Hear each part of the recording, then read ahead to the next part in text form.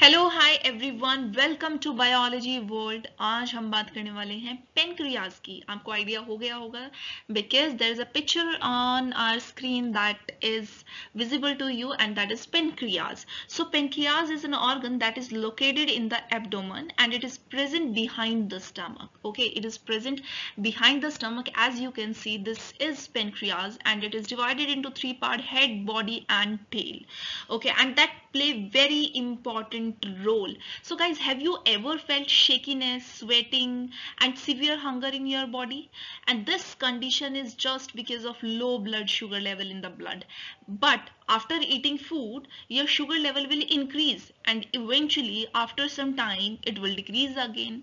So have you ever seen any diabetic patient unke sath specifically aisa hota hai okay. But insulin play yes insulin play very important role in our body. So this decrease in blood sugar is due to hormone called insulin. And insulin help to allow glucose to enter the body cells and be used as an energy source okay so here you can see this pancreas it's a somehow leaf like or fish uh, shape now this pancreas has two main functions and here are two main functions that it behave like a heterocrine gland or composite gland that means वो exocrine की तरह behave करेगी as well as endocrine की तरह behave करेगी अब exocrine endocrine क्या है exocrine का मतलब होता है कि uh, with the help of duct duct का मतलब है यहाँ पे tube okay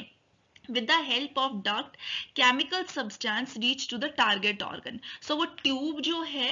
वो target organ तक उस substance को पहुंचाएगी so यहाँ as a exocrine gland it help in the digestion and uh, there are trypsin lipase and amylase enzymes that help to break down the food okay and there are special cells present in our pancreas that are known as Echinor cells that help to secrete these digestive enzymes now second second is endocrine gland endocrine gland की तरह जब behave करेगी तो उस time पे ये हमारा blood sugar regulate करती है and it releases insulin and glucagon और यहाँ जो स्पेशल सेल्स हैं, वो है आइसलेट्स ऑफ़ लेंगर हैंस यहाँ पे ये भी फोर टाइप में डिवाइडेड है alpha beta delta and PP cells और हम बोल सकते हैं F cells so alpha cell secrete करती हैं ग्लूकागन बीटा सेल सिक्रीट करती हैं insulin and delta somatostatin and pancreatic polypeptide cells जो पीपी सेल्स हैं या हम एफ़ सेल्स बोलते हैं वो पेंक्रिएटिक पॉलीपेप्टाइड रिलीज़ करते हैं.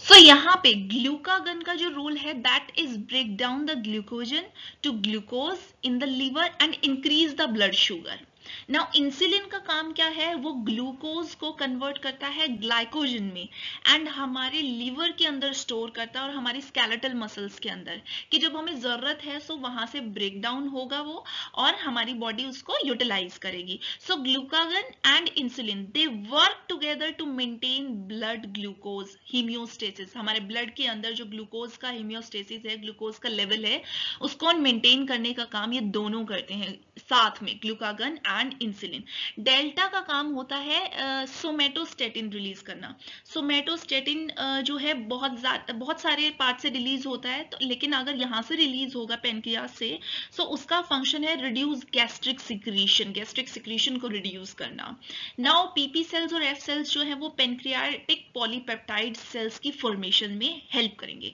So these are the different different now endocrine gland जो है वो क्या करती है केमिकल को डायरेक्टली ब्लड के अंदर पोर कर देती है and blood help to reach the target organ blood की हेल्प से वो टारगेट ऑर्गन तक केमिकल सब्सटेंस जो है वो पहुँचता है. So this is the exocrine and endocrine difference exocrine means duct gland endocrine means ductless gland so I hope this point is clear for So here are two disorders uh, due to insulin increasing and decreasing disorder. So first is the hyperglycemia and second is the hypoglycemia. So hyperglycemia के अंदर insulin का level कम होगा and sugar का level increase हो जाता है generally. And in hypoglycemia it is completely opposite. इसके अंदर बहुत ज़्यादा insulin secrete होगी and blood sugar जो है इसके अंदर कम हो जाएगा. So what you have to learn, you have to learn like this. Here insulin decreases and blood sugar increases. And in hypoglycemia you will see insulin level increases and